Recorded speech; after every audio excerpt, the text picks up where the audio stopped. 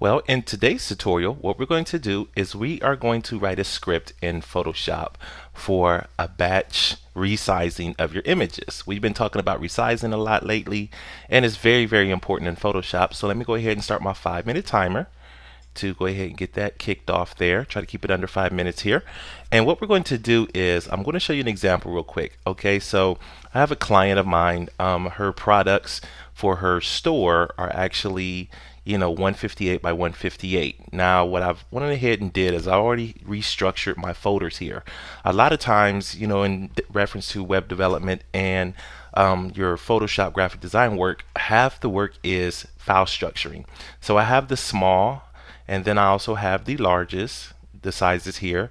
Um, the the, the uh, one size here of the images I already noticed that these images right here are 2101 by 1400 and these images right here are 1400 by 1400. So we're dealing with two different sizes and this only works if you have all your images one size in that actual folder. So let's go ahead and go back over here to Photoshop and we have a 158 by 158 is one of the sizes. Now what we could do is we can come over here and we can create this right here and I'm going to show you the long way really quickly. I'm just going to open up one of these images right here and you see how big that image is. That's 50% of it because we can see it right there. Okay, so what we're going to do here is we're going to select this and we take this over and we drag it. We hold the shift key, drop it in there, right click, and we're going to convert to a smart object. Command T, Command 0, and we would grab this corner, hold Option and Shift, and scale it proportionally. And the funny thing is, in order to get that shoe inside of there, we do have to break the bounding box. So you're going to see all that dead space around there, which is not going to be good. So we definitely don't want to do that. So how do we resize all these images to have the perfect size and fit inside the box perfectly? so what we're going to do is we're going to come up here to Photoshop. We're going to go to File. We're going to select Scripts, and we're going to go to Image Processor. So within the image processor here, what we're going to do is we're going to select the folder. Okay, so we got a folder here and it says open the image to apply setting. And the folder that we are going to be selecting from is going to be the 1400 by 1400. Okay, so we have that folder selected. Then over here it says select the location to save the processed images. And we're going to save it to the 310s by 310s. So we're going to do go ahead and do the 310s by 310s first. That's her large size and her small size is 158 by 158. Right here we're going to say resize to fit, save it as a JPEG, quality 10 and we have 310 by 310 right here. And you can also add copyright information if you decide you want to. But that's all we're going to do here. And what we're going to do is we're going to hit run.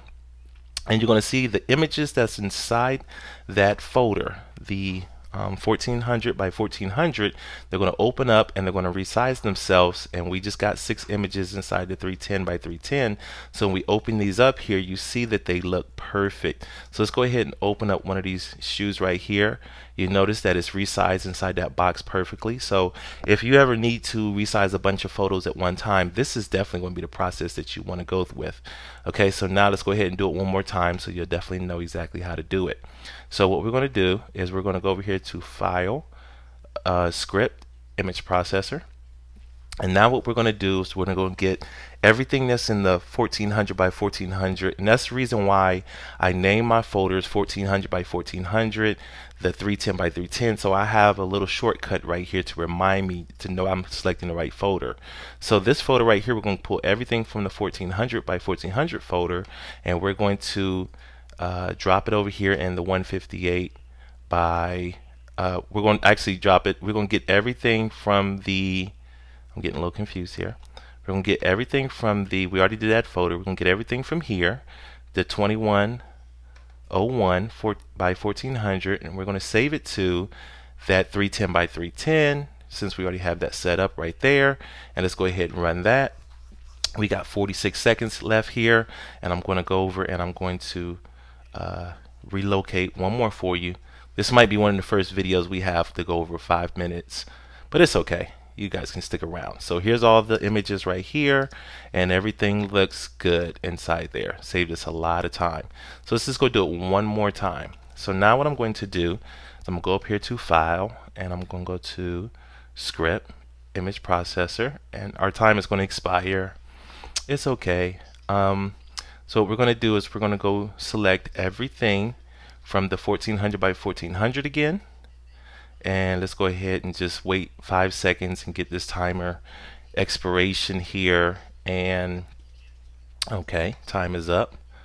And we're going to get rid of that guy. And we're going to save this right here, 1400 by 1400, and we're going to save it into the 158 by 158. So let's go ahead and hit open. And we're going to say 158 by 158 and what we're going to do is everything from 1400 by 1400 is going to save in the 158 by 158 small. Let's go ahead and run it. Everything opens up there. And this is really cool man. I absolutely love this. I've done a lot of batch work in the past. And uh, you know it, it's definitely a time saver.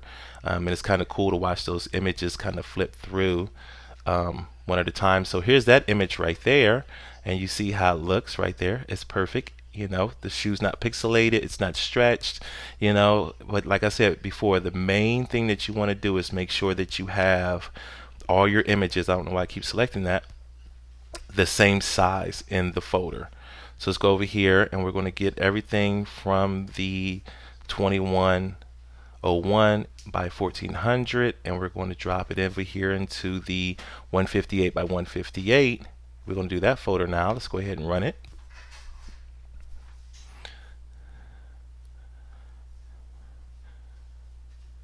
Alrighty, so um, let's go over here and look inside here. So we have our smalls, we have our largest, you know, we have 12 items, 12 items.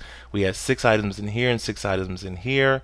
So open up that small one more time and flip through them really quickly and you see here that everything looks really really nice so um, this is a way for you to resize all your images all at one time and then also I want to go over here real quick to Dropbox and stock photography actually I don't have it here with me um, but I do have uh, uh, um, a folder, three different folders that I do want to share with you by watching this video of all kind of great, wonderful stock photography. If you're on Pinterest, this stuff is amazing for Pinterest.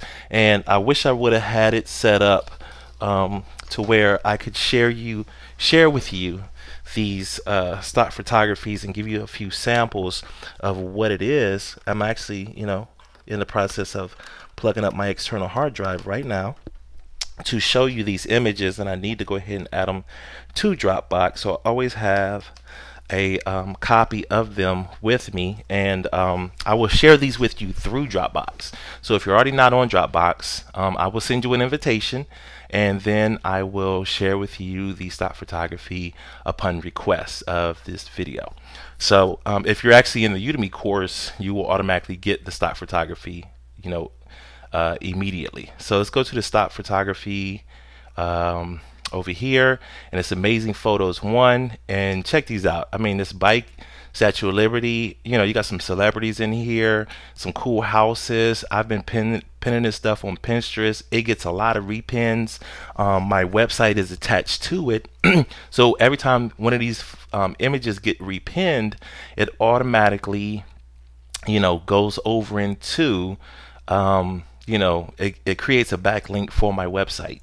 It's a great little cool little strategy, you know, and the images are really, really nice. So, um, by request here on YouTube, let me know that you want them.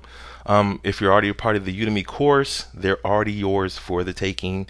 You can download them and enjoy them as you desire. I thank you for watching the video. Sorry for taking so long. Sorry it took longer than five minutes, but you know, it happens sometimes. And I will talk to you guys later. All right. Bye bye.